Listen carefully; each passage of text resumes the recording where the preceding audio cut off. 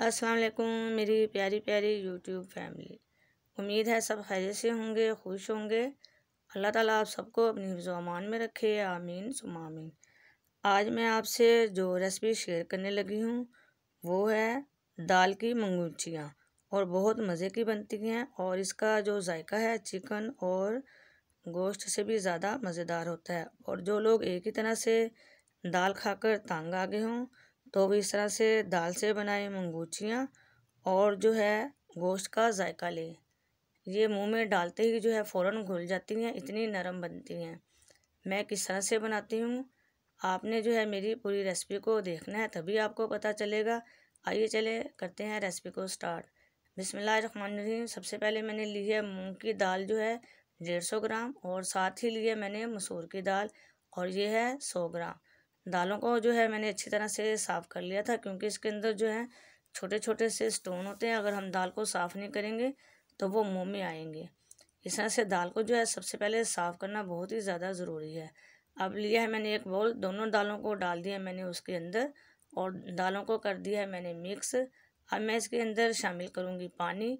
पानी यहाँ पर मैं उतना ही डालूँगी जितना दाल जो है उसमें अच्छी तरह से भीग जाए, और अच्छी तरह से जो है मिक्स कर दूँगी। पानी डालकर आपने दाल को सबसे पहले अच्छी तरह से वॉश कर लेना ताकि डस्ट वगैरह निकल जाए। अब दिया है मैंने इसके ऊपर ढक्कन और तकरीबन छोड़ दूँगी चार घंटे के लिए ताकि दाल जो है फूल जाए और नरम हो जाए। ये देखें, दाल जो है अच्छी तरह से फूल भी गई और नरम भी हो गई है। और अब लिया है मैंने मिक्सी जार, दालों, दाल इसके अंदर डालूँगी और इसका बना लूँगी अच्छी तरह से पेस्ट आप चाहें तो दाल को जो है कूट भी सकते हैं कुंडी के अंदर डाल के। मैंने ये देखें अच्छी तरह से इसका पेस्ट बना लिया है। आपने भी बिल्कुल इस तरह से पेस्ट बनाना है। पानी मैंने जो है इसमें बिल्कुल भी नहीं डाला था। अगर पानी डालेंगे तो फिर जो है बहुत ही ज़्यादा पतली हो जाएँगी। फिर ये जो है हमारी मंगूचियाँ नहीं बनेंगी। अब दाल को मैंने डाला है एक अलग बर्तन में और इसके अंदर डाला है एक प्याज बारीक कटा हुआ। मैंने इसको जो है ग्रेट कर लिया था। फिर इसका जो है पानी मैंने सारा निकाल दिया। पानी जो है प्याज के अंदर बिल्कुल भी नहीं होना चाहिए। और साथ ही डाली है मैंने इसके अंदर बारीक कटा हुआ सब्ज़ धनिया और लहसुन, अदरक और हरी मिर्च का जो है मैंने पेस्ट बनाया था, वो इसके अंदर शामिल किया है। अब मैंने इसके अंदर डाला है क्वार्टर टी स्पून जो है गरम मसाला पिसा हुआ, आधा चम्मच लाल मिर्च पिसी हुई हसबे जायका नमक और क्वार्टर टी स्पून डाला है मैंने इसके अंदर पिसा हुआ ज़ीरा और इसके अंदर डाला है मैंने एक चुटकी मीठा सोडा और अच्छी तरह से इसको मिक्स करूँगी। आपने जो है मसाले डालने के बाद तकरीबन दो से तीन मिनट अच्छी तरह से इसको जो है मिक्स करना है ताकि ये फ्लॉपी सा हो जाए और जब हम इसकी जो है मंगूचियाँ बनाएँ, वो हमारी अच्छी बने। बिल्कुल ये तैयार है। अब जो है मैंने लिया है एक बर्तन और इसके अंदर डाला था मैंने पानी। चूल्हे पे रख दिया मैंने पैन को और इसके ऊपर दे दिया ढक्कन ताकि जो है पानी अच्छी तरह से गर्म हो जाए। ये देखें, पानी जो है हमारा उबलने लग गया और अब मैंने इसके ऊपर दोबारा स्टेनर रख दिया अब मैं इसे अच्छी तरह से जो है ऑयल से ग्रीस करूँगी। हमने जो दाल हमने पीसी थी, उसके जो है छोटे छोटे से बाउल बनाकर इसके ऊपर रखने हैं। क्योंकि हमने देनी है, इसको स्टीम यानी कि भाप देनी है, ये भाप से जो है मंगूचियाँ बनाई जाती हैं। एक जो है वड़ियाँ होती हैं, वो धूम में सुखाई जाती हैं, लेकिन ये जो है भाप से बनाई जाने वाली मंगूचियाँ ये इतनी मज़े की होती हैं कि मुँह में डालते ही जो है फ़ौरन घुल जाती हैं। अब मैंने जो है छोटे छोटे से गोल गोल बाउल बनाकर इसके ऊपर रख दिए और अब मैं इसके ऊपर लगा दूँगी ढक्कन ताकि इससे अच्छी तरह से भाप आ जाए और ये तैयार हो जाए। तकरीबन दस से बारह मिनट के लिए छोड़ दूँगी।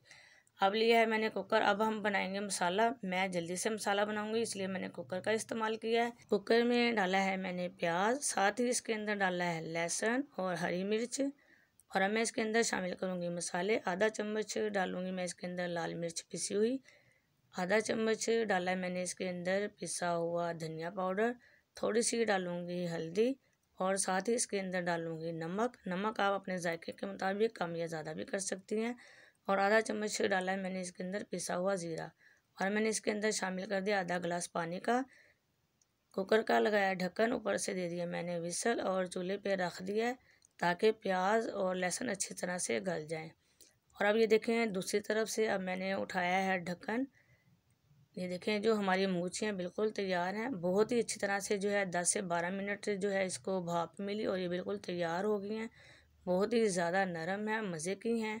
और जो मैंने ऑयल लगाया था इससे जो है फिर ये आसानी से उतर जाती हैं। हमें इसे निकालूँगी अलग बर्तन में। अब ये लिया है मैंने एक पैन। और जो एक एक करके जो है सारी मूंगूचियाँ डालूँगी इसके अंदर। हल्का सा इसको करूँगी रोस्ट। हमने जो है ज़्यादा इसको रोस्ट नहीं करना। जब हम इसको ऑयल या घी में हल्का सा रोस्ट करते हैं तो बहुत ही मज़े की बनती हैं। और आप ये स्टोर करके भी रख सकती हैं। ये जो है एक से दो महीने तक बिल्कुल भी ख़राब नहीं होंगी। अगर आपने ज़्यादा अर्सा रखना है तो आप जो है टाइट डिब्बे में डाल के फ्रिज में रख दें। फिर ये काफ़ी अर्सा चल जाती हैं। और बहुत मज़े की बनती हैं और जल्दी बन जाती हैं। ये देखिए, मैंने जो है हल्का सा रोस्ट कर लिया है और और अब हम बनाएँगे मसाला। पैन में डाला है मैंने घी। मैं जो हंडिया बनाती हूँ, घी में बनाती हूँ, मैं ऑयल का इस्तेमाल ज़्यादा नहीं करती। इसके अंदर डाला है मैंने आधा चम्मच लहसुन, अदरक का पेस्ट और इसके अंदर जो है हरी मिर्च भी पिसी हुई है। वो इसके अंदर डाल दिया और इसको करूँगी लाइट गोल्डन अगर आपने मेरे चैनल को सब्सक्राइब नहीं किया तो मैं काइंडली रिक्वेस्ट करती हूँ, मेरे चैनल को सब्सक्राइब कर दें। बेल के बटन को ज़रूर प्रेस कीजिएगा ताकि जब भी कोई नई वीडियो अपलोड करूँ तो सबसे पहले उसका नोटिफिकेशन आपको मिले। फिर मैंने इसके अंदर डाला था पेस्ट टमाटर का। आप चाहें तो जो है साबुत टमाटर भी डाल सकती हैं। और जो मसाला हमने तैयार किया था कुकर के अंदर, वो अच्छी तरह से गल चुका था। वो मैंने इसके अंदर शामिल कर दिया। सारे जो नमक मिर्च इसके अंदर शामिल थे। अब हमने इसके अंदर कुछ भी नहीं डालना। हम इसे तकरीबन पाँच मिनट तक अच्छी तरह से भून लेंगे जब तक कि जो है घी ऊपर नहीं आ जाता। ये देखिए, मसाला जो है अच्छी तरह से भून चुका है, घी आ गया ऊपर।